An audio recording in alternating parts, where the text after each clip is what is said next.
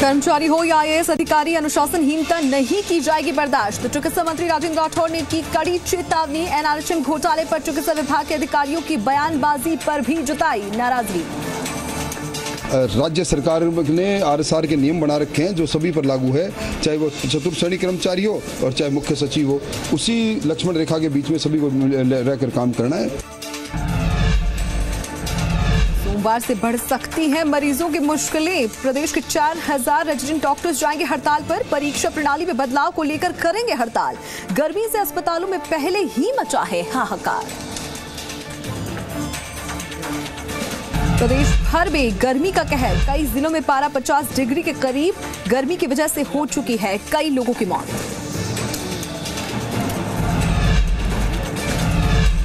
प्रधानमंत्री नरेंद्र मोदी ने की मन की बात में सीएम वसुंधरा राजे की तारीफ़। मुख्यमंत्री जल स्वावलंबन योजना के कामकाज को सराहा, कहा अगले चार महीने तक पानी की बूंद बूंद को बचाना होगा। उन्होंने पानी रोकने की दिशा में प्रयास चलाया है। कुछ राज्यों ने नदियों में ही छोटे छोटे बाँध बना करके दस दस बीस बीस किलोमीटर पानी रोकने की दिशा में अभियान चलाया है। भीलवाड़ा में थम नहीं रहे, बाल विवाह, नाबालिग जोड़े मंदिरों में पहुँचे तो हुआ खुलासा।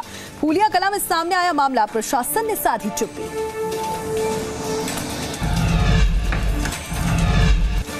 जैसलमेर रेलवे स्टेशन पर ट्रेन में आग से अफरा तफरी, जयपुर जाने वाली इंटरसिटी एक्सप्रेस के दो डिब्बों में लगी आग।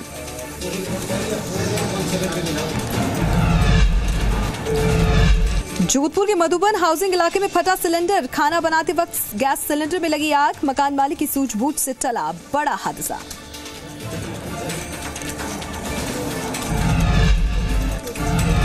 बीजेपी नेता और देश की पहली महिला आईपीएस किरण बेदी बनी पुडुचेरी के उपराज्यपाल। केंद्र की सिफारिश के बाद राष्ट्रपति ने की नियुक्ति। लेंगे भूपेंद्र सिंह की जगह।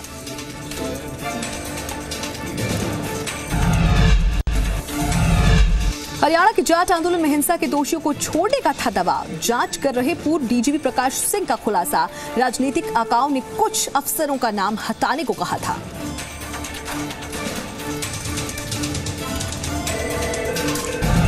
कश्मीर में हिंदू प्रतीकों को मिटाने की साजिश। कश्मीर टूरिज़्म के विज्ञापन में हारी पर्वत को कोहे मारा लिखने पर विवाद। कश्मीरी पंडितों ने जताई आपत्ति।